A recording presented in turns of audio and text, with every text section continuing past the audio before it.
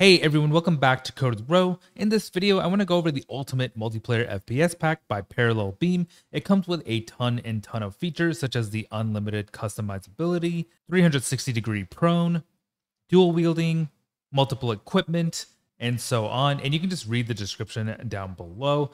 Comes with clean clothes. It is fully replicated for multiplayer systems. I tried this out. It feels very very AAA. And it also does come with a couple game modes such as Team Deathmatch and King of the Hill. So let's actually go ahead and open this project and try it out.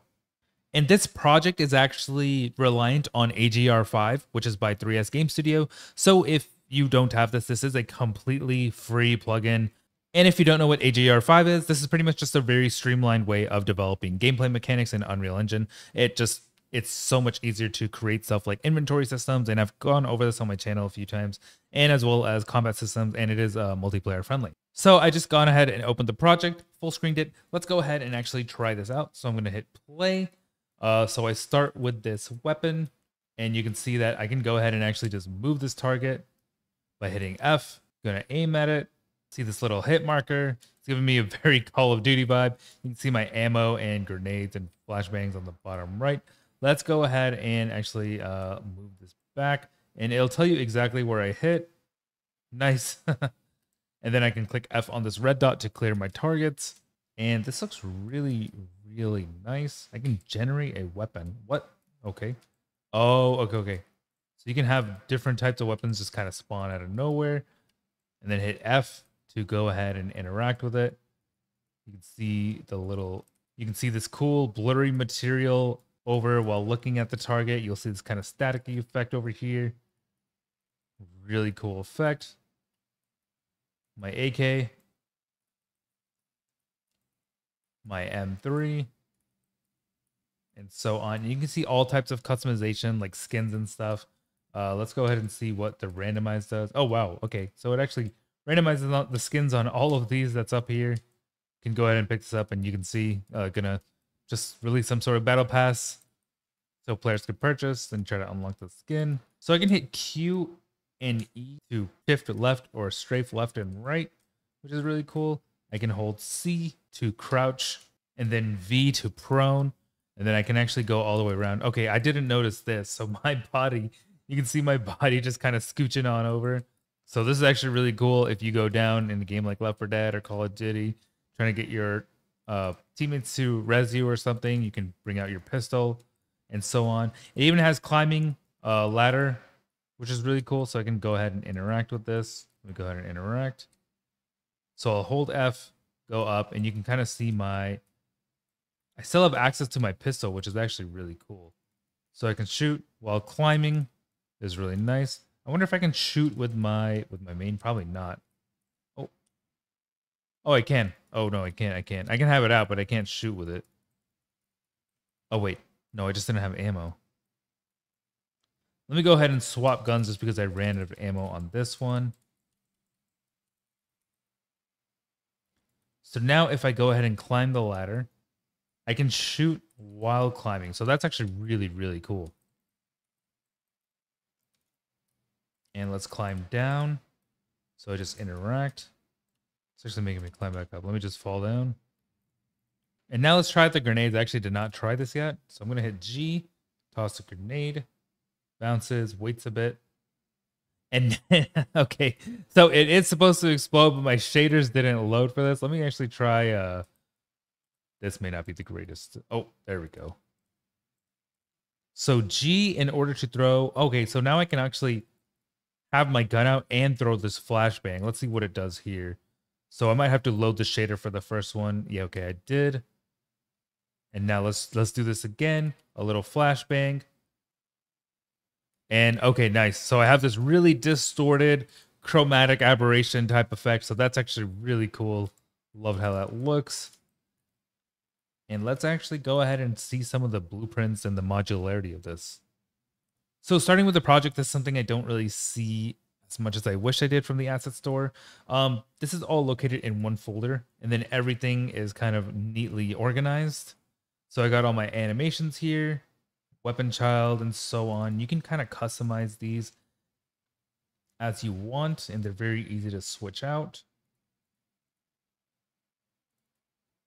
You got different maps, so it'll we can showcase the deathmatch and the King of the Hill. So let me actually go ahead and let's try out King of the Hill. So now when I hit play, it's going to open up this uh, menu. I can select my primary, my tactical. I can choose different loadouts and so on. And then I can already see my teammates are already on it. Everyone's name is Walter, apparently. Let's go ahead and deploy and help these guys out. So I'm just going to go in, and I don't really know who's my ally, but let's go ahead and take the high ground. Or, oh, wait, actually, I don't think there are teams right now. They're really just booking it. That's actually crazy. Don't worry, guys, I'm a pro. No, I suck. And then it takes me back to this loadout screen. And honestly, really, really cool. So you'll see that we need to capture point B first. And there's a little timer up here. This is actually really fun, not going to lie. So let's actually go ahead and try out Deathmatch. All right, same thing. It's going to start, it's going to say our kills versus their kills. Uh, we can select our loadout, secondary weapon, and grenades and all that. Change loadouts as we want to. Let's go ahead and hit deploy.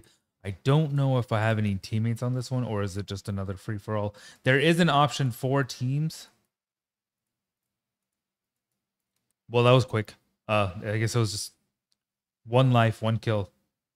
And now you can see uh, there's this really cool weapon loadout, which looks freaking amazing. And you can see this is really giving me like a very commercial AAA game vibe. And to be able to achieve all this as an indie dev where it's just done for you is freaking amazing. So I can select the different types of weapons by left clicking over here. You'll see them kind of slide in with their animation and tilt sideways, giving a nice, really polished look. And then I, for loadout two, I can go ahead and select the M19. Loadout three, let's stick with the uh, the MC and so on.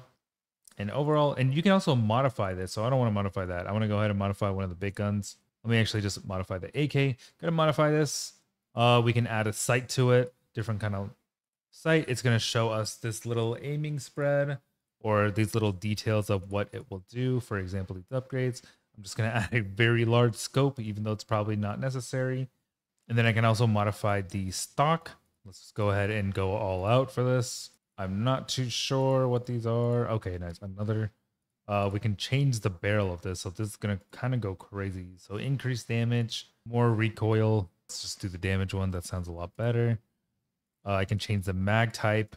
And I love how this physically changes the mesh itself and as well as the grip. This looks so cool.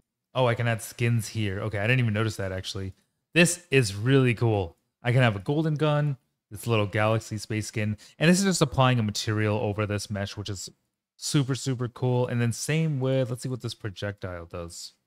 So now if I go over to and it's a work in, work in progress UI. So let's go ahead and click on this. So you can see there's a little uh, gameplay video controls app. So it already comes with settings, which is kind of crazy to me. Uh, this is like really, really well done. Let me apply and exit and see if I can actually, um, okay, so I can actually find server names, players, and ping. So let's go ahead and create a server. I think I will do a deathmatch over here. I'm just going to select the loadout. I think I did it on loadout two. Yeah, I did it on loadout two. And now you can see the gun I created is right here. I have this unnecessary infrared scope. And bam, use my amazing OP gun with increased damage, basically wall hacks. and that's actually really cool. I'm I'm loving this. This this is freaking amazing. So now I actually want to go into the blueprints because this is probably mainly what users want to learn off of, of how to do these things. So we can start off by using the BP MSK character. We can go ahead and open this up and kind of see what's going on behind the scenes here. So this is again using AGR Pro, which I highly recommend checking out if you haven't done so already. You can kind of see how we're using this primary action, secondary action, and so on. And it's kind of just giving quite a few checks to make sure we are doing exactly what we assign it to. So there's a BP character inventory here. Uh, we got our interacts over here with our tactical equipment, lethal equipment, primary weapons, secondary equips, and so on. And just a lot kind of going on behind the scenes over here. And everything is nicely commentated. So X is a switch camera view. I actually did not know uh, we can go ahead and do this. So there's first person, third person, and body cam. Let's actually go ahead and try this out. I did not know X was the key for this. Um, oh, I'm still in the death death match one. So if I hit X, Third person. Okay, so I can't see anything when I zoom. That's crazy. And then X again is my body cam. That's actually really cool. And this is why it's really useful to see uh, all the blueprints and go through everything that you kind of get, just so you know um, what you are looking at. This is kind of crazy harder to aim without my zoom. Oh, I'm not using the gun with my zoom. Let me go back. I'm actually doing tricks with my gun. This is insane. All right, let's see if I can snipe this guy third person. No scope. Oh, I need to reload. Hold on. That doesn't count. I know that doesn't count. Bro, he's just running around. All right, we're, we're not doing that. We're not doing that. But that's really cool to know that clicking X is going to uh, change our views to these three. And you can go ahead and just select whichever one you want to permanently select in, or just get rid of this and force your character to only be first person, third person, or body cam view, and so on. And now we can actually go ahead and I think another one that a lot of my a lot of the community is interested is AI controls. So if you want to see how the AI works, you can go ahead and check out the behavior tree. So it's going to start from the root, go into the sequence, go to this task to fire weapon, and this is basically the blueprint telling it to receive the tick for the AI to get its own item, check it out, and then if it needs to reload, then go ahead and do so. We have this random location and move to kind of like we just saw that one NPC running around once it got to that point, uh, just until we show up and then it would go back to this fire weapon right to us. And then we have our AI controller here, which is going to run the behavior tree that we called. And it's running this behavior tree casual AI that we were just looking at over here. And then we also have our blackboard with our keys over here.